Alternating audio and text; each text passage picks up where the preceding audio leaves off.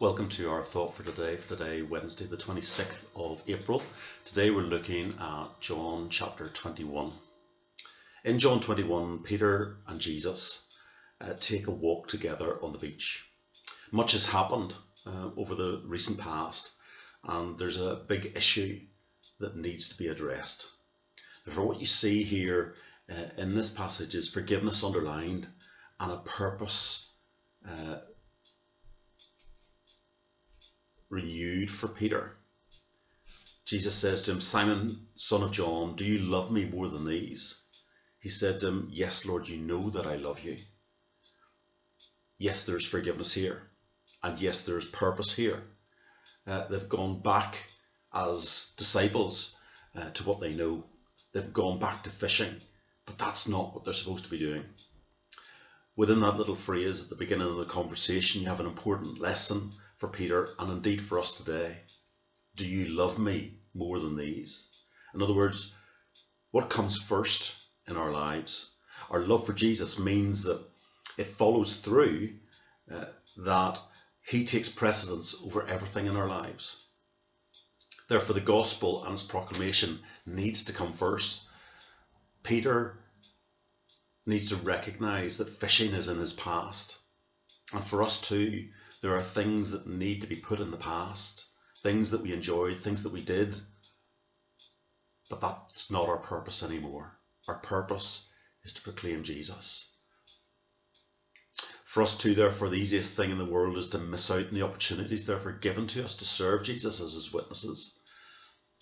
We just need to do something else. That's the point. That's the point of what the disciples are doing here. They're doing something else, something less important. Therefore, like Peter, we need to remember that time is short and the time to proclaim Jesus is now.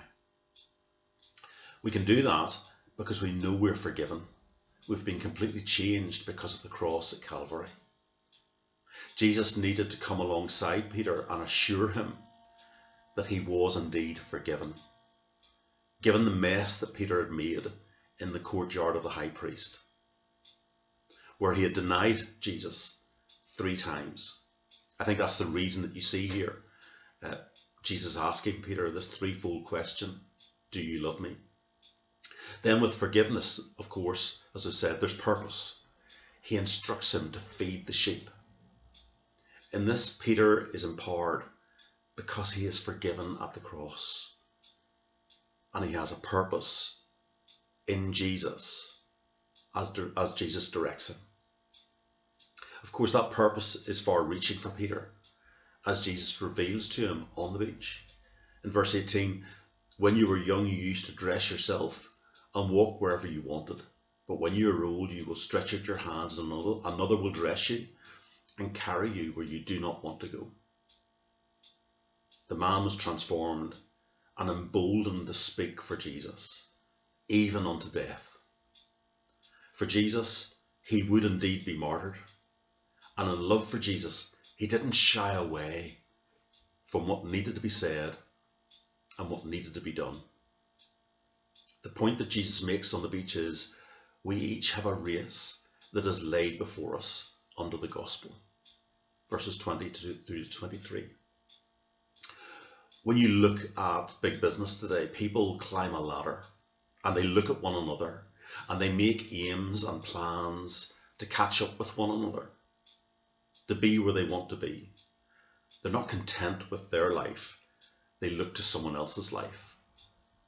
They want to overtake them. It is a reality that is so different uh, in so many spheres of life. We look at others and we make comparisons. We're all the same in that sense. How else do you think keeping up with the Joneses began? It's called coveting.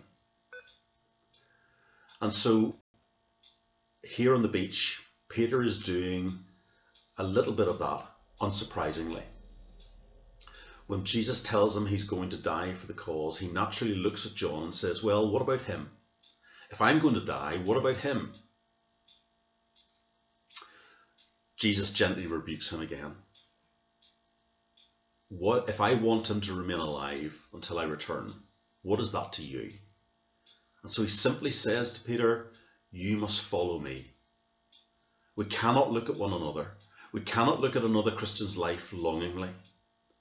We're all called to do the same thing in effect to follow the Master, to follow Jesus. And therefore, we each have our own race to run for the Lord. And all we're called to do in that is to be faithful to Him, to the one who is our Lord. No matter what the future holds, remember God is sovereign and we are saved because of the forgiveness that is available to us under the gospel. A gospel that we're meant to live and to speak. All we are called to do is to follow Him, to honour Him, and ultimately to be faithful to Him where we are, where He has placed us, so that He indeed is honoured and His kingdom is grown. Let's pray. Father, thank you for Jesus. Thank you, Lord, for the reality that we know in him. That as he died and rose again, we are forgiven as we trust in him. Thank you, too, that we have a purpose for him, to live for him and to proclaim him. Help us to do that, Lord. No matter in how small a way it might be, you can take our stumbling and faltering words and multiply them Lord, do that, please, we pray, that your kingdom may indeed be grown, that a people may be reached for you. In Jesus' name we pray. Amen.